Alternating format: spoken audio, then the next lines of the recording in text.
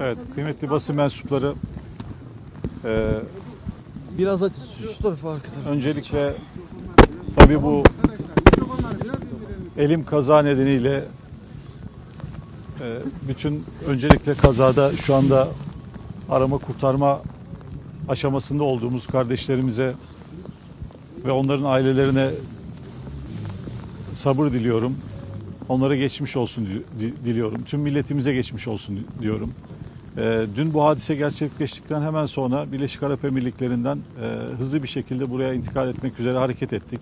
Gece saat 2 civarında buradaydım.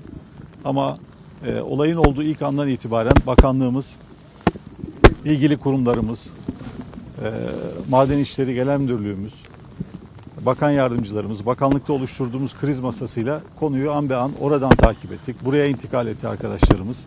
Sayın Bakanımızla, diğer kurumlarımızdaki bütün arkadaşlarla yoğun bir şekilde elbette ki ilk e, baktığımız konu, e, bizim için en önemli konu e, buradaki işçi kardeşlerimizin bir an önce e, kurtarılması konusu. Sayın Bakanımız konuyla ilgili çok detaylı sizlere e, bilgi aktardı. Bu maden 2004 yılından beri işletme ruhsatı olan bir maden.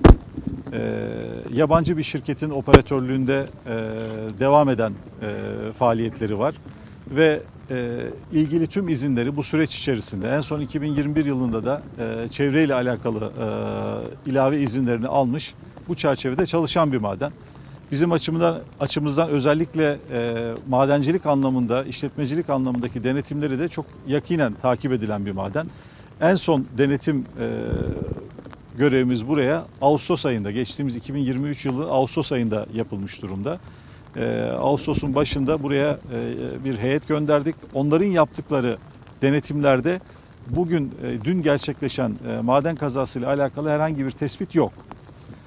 Dolayısıyla e, bu zaman içerisinde ne olmuş olabilir? Kazaya neyin e, sebebiyet verdiği ile alakalı Sayın Bakanımızın da ifade ettiği gibi e, araştırmamız devam ediyor. E, hemen ilgili müfettiş arkadaşlarımızı görevlendirdik. Onlar da burada çalışmalarına devam ediyor. Ama biraz önce ifade ettiğimiz gibi biraz e, zamana ihtiyacı var. Konunun e, derinlemesine, e, tetkik edilmesine ve size daha sağlıklı, kamuoyuna daha sağlıklı, milletimize daha sağlıklı bir bilgi verilmesi açısından yeraltı suyuna veya barajlara etkisi olabileceği yönündeki endişeleri gidermek adına da sürekli ölçümler, sürekli numuneler alınıyor. Bunlarla ilgili şu anda endişe edilecek bir şey olmadığını biz buradan kamuoyumuzla paylaşmak istiyoruz e, bir kez daha. Dolayısıyla çok yakinen takip ediyoruz. E, Şu anda birinci önceliğimiz vatandaşlarımızı oradan çıkarabilmek.